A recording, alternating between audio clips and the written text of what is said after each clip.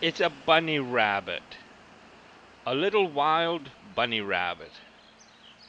And listen to the birds. This is at the end of June in Nevada City, Montana. And this is one of the destinations I hope that Cindy and I have the opportunity to return to this year.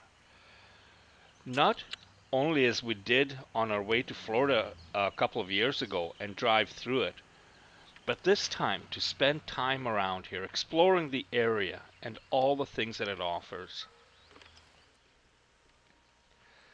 Basically, we've decided that even though I would love to drive across Canada, coast to coast, the fact is is that Canada is very large. That's number 1. Number 2 is that Canada is very expensive. So we decided to head south of the border again this summer on a lot different trip because back uh, a couple of years ago when we were heading, we are going to Florida.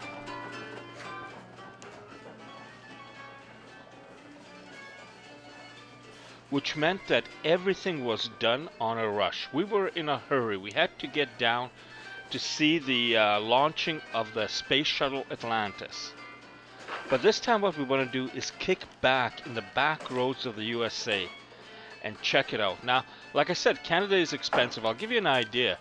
Overnight, a few days ago in Kelowna where we live, the price of gasoline went up 12 cents a liter. Now for people who are used to the gallon, people from the United States watching this video, that's like the price of gas in the US going up 50 cents a gallon overnight. There's camping all around here, so imagine that, uh, well, you can go trail riding, horseback. There's all sorts of things you can do here, so think about spending a couple of nights in here. I wonder what the ghost stories are like. But the accommodations, gas, food, everything is a lot higher in Canada than in the United States. That's a fact. The other fact is that the United States offers so much amazing things to see. From Nevada City, just a few miles down the road is Virginia City. And these are things I would love to spend more time in. To go around, check out the shops, the stores, maybe find some old timers and here's some of the stories.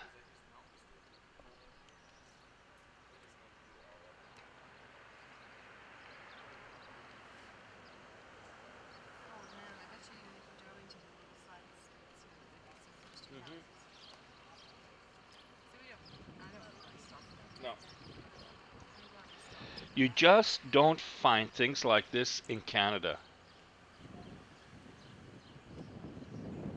One more thing I got to say about Canadian travel and tourism to people from the USA or uh, the uh, Europe, wherever. If you're not familiar with Canada, it is a huge country with a really small population.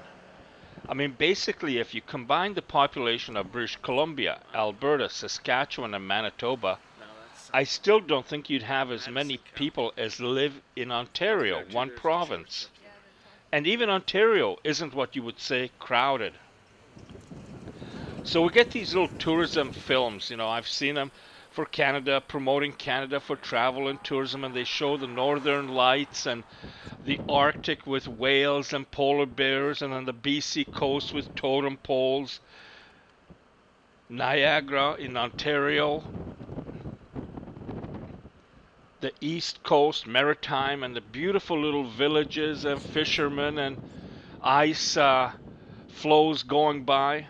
It's gorgeous and There's it's so beautiful. Much to see and do along here, but we still have to hit uh, Yellowstone Park, and and then go through Yellowstone towards uh, well Buffalo uh, in Wyoming. There's a lot of territory we've got to cover yet today, but. Uh, like I said, we're not coming down here just for this area. we're heading to Florida. We're going to Florida, man. It's a long way away. So anyway, getting back to that, you can find all that stuff in Canada for sure. Amazing scenery, fantastic destinations, but the country is huge. And if you're planning to come here for two weeks, three weeks, and you think that you're going to be able to see all of that and experience it, not a hope in you know what. It is that large. Even if you're coming from Europe and you're and I've, we've seen and talked with people that rent RVs and they go for a drive. Now, if you're going to be driving at a normal rate and stopping to check out some of the parks and sites and stuff like that, it's just huge. It is just huge. Now, the United States is also huge, but it's made up of a lot of states. And each state is like a, I've said this a million times in videos, it's like a country to itself. And you can go through a state in a day or even less. Phoenix. So how long has it taken you to get this far? Uh, seven weeks. Seven weeks. Are you're not uh, American? No, No. Europe? What part? the Netherlands. Netherlands. I was thinking that'd be a beautiful place to go bike riding. Is it hard? Yeah, sometimes it's hard. Yeah. Yeah. You're going that way? Yeah.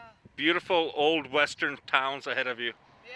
Yeah. Oh, it's great. and it'll be downhill. Oh, that's nice. yeah. Nice talking to you.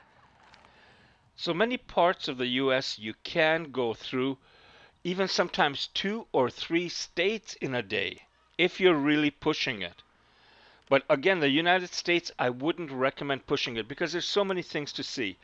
So basically, for 2013, we would like to go for a drive south of the border, explore basically the uh, western states, possibly all the way down to Texas, maybe, but uh, take our time exploring around. There's places we've seen that I would like to go back and uh, revisit, and there's places we haven't seen. Like we went through Yellowstone Park, but Grand Tetons are nearby, and uh, the bicyclists we talked with came up from the Grand Tetons and saw several grizzly bears. There's uh, large herds of buffalo, elk. You can at times even see or hear wolves.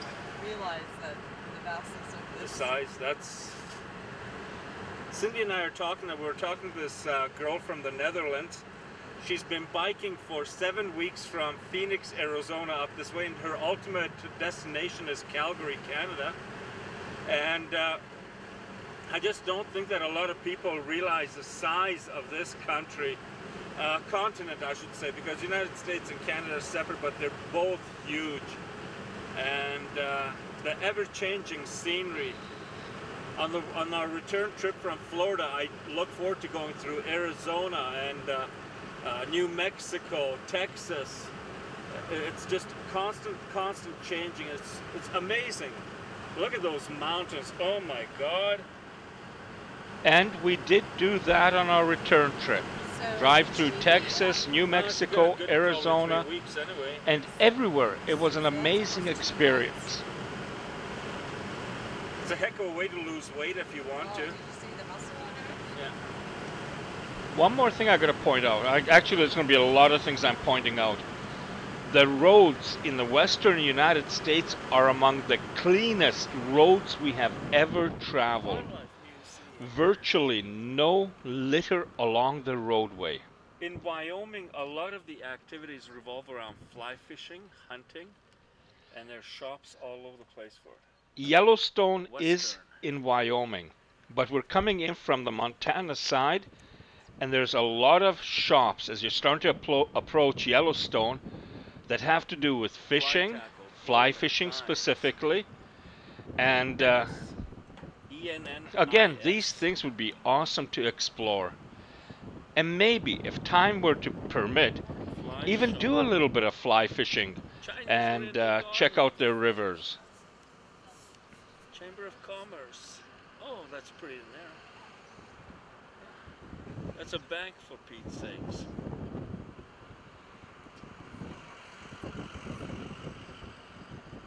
Absolutely beautiful little towns.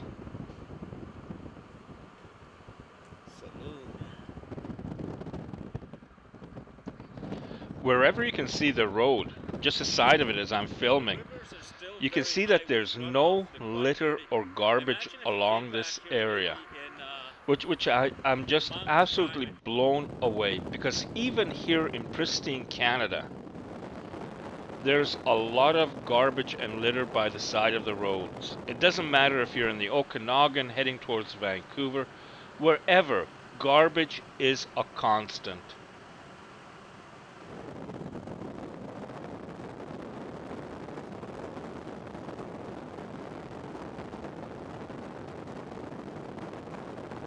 Okay, we saw something here that might be pronghorn antelope, and I've never seen or have film of them. Now they might be deer, but I don't think so. Even in vast areas like this, there are so many things to see if you're taking your time and are looking for it. Aside of the fact that we did see deer, we were also encountering pronghorn antelope, which like I said, I've never seen before it was amazing. Like the only time I've ever seen pronghorn antelope have been in uh, magazines like Outdoor Life or uh, hunting shows where people are going out to blow them away. And to see them in fields like these are wild, even though there are fences around. Just like deer, they probably managed to get through them one way or another.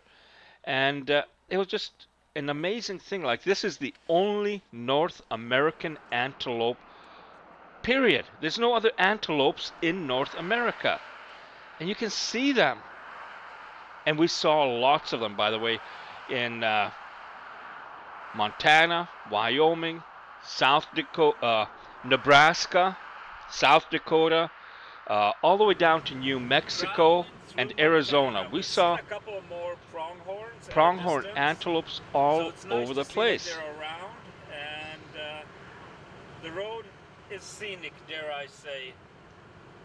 The Grand Tetons are something that I would love for us to drive through and, and basically drive through the Grand Tetons all the way through into uh, Yellowstone and do Yellowstone much slower because it is an amazing place to discover.